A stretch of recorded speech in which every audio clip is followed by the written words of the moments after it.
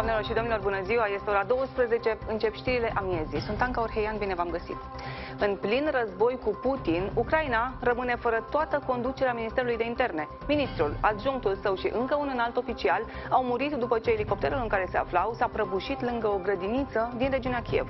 În total, 18 oameni au murit, între care 3 copii, și alți 25 sunt răniți. Deocamdată, autoritățile nu exclud nicio variantă, accident sau atac.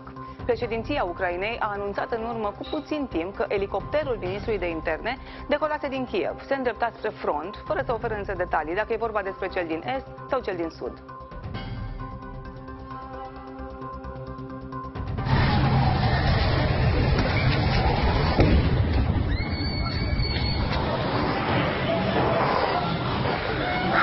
Ты просто капец. Это пизда, что говорит все нахуй. Я ебал в рот, блядь. Бровары на ушах, прилет, вон школу расхерячили. Детей выводят. Жопа.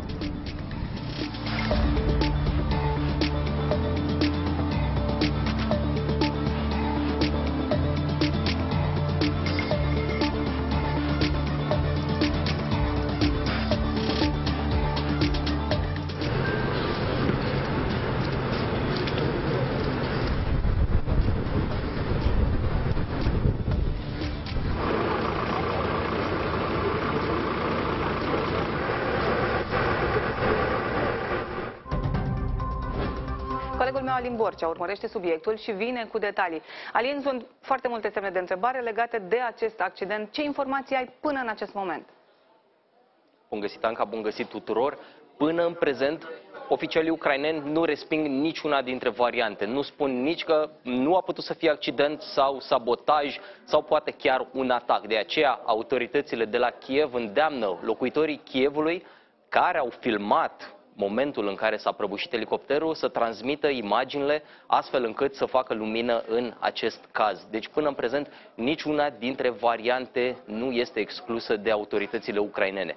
Ce știm? Au murit 18 oameni, 9 în elicopter, 9 la sol. Din păcate, printre cei de la sol erau și trei copii. Dintre cei din elicopter îi numim pe Denis Monastirski, ministrul ucrainean de interne, adjunctul său, dar și alți oficiali ai Ministerului de Interne de la Kiev. Din ce au transmis uh, oficialii ucraineni, Denis Monastirski și colegii lui, se îndreptau către linia frontului. Nu au specificat dacă mergeau spre regiunea Zaporojie sau spre regiunea Herson sau spre luptele din Donbass, acolo unde este cel mai fierbinte punct al frontului.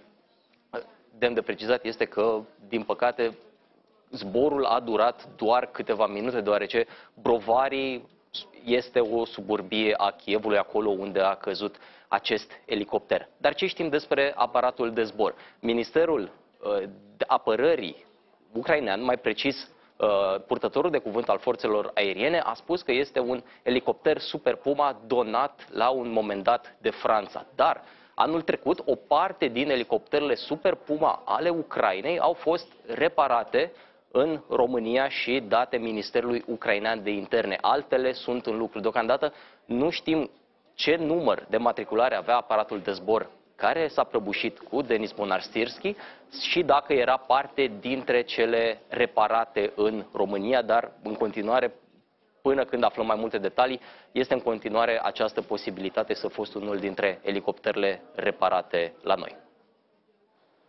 Mulțumesc tare mult, Alin. În direct cu noi acum este Ștefan Dănilă, general în rezervă și fost șef al statului major general. Bună ziua, domnule Dănilă, și vă mulțumesc foarte mult pentru această intervenție. Bună ziua!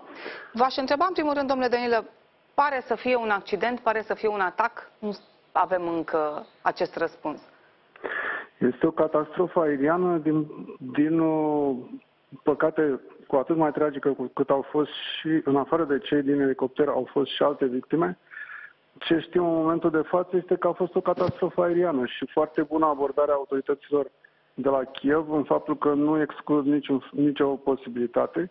Uh, trebuie să spunem că, spre deosebire de catastrofele aeriene la care am făcut noi cercetarea, catastrofe produse în timp de pace, uh, că am avut și noi prăbușiri de elicoptere. Uh, de această dată avem o prăbușire de elicopter într-o situație de război. Adică acolo există și posibilitatea ca acel elicopter să fi fost doborât. Deci elicopterul este posibil să fi căzut sau să fi fost doborât. Dacă a căzut, puteau să fie mai multe cauze, adică din cauza situației meteorologice, putea fi o eroare de pilotaj, putea fi uh, atins un uh, obstacol cu elicopterul, pentru că din ce am văzut, din informațiile pe care le-am primit de dimineață, era ceață. Uh, iar nu putem să excludem nicio defecțiune tehnică pentru că s-a produs la puțin timp după decolare.